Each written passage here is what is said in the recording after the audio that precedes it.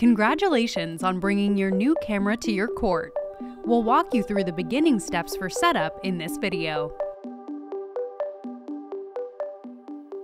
Focus Point is controlled by the Hudl Focus app, so your first step is to download the app.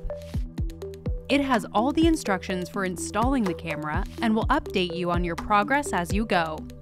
You'll also use the app to view and schedule upcoming events for your team, start and stop recordings on the fly, and control your live streams.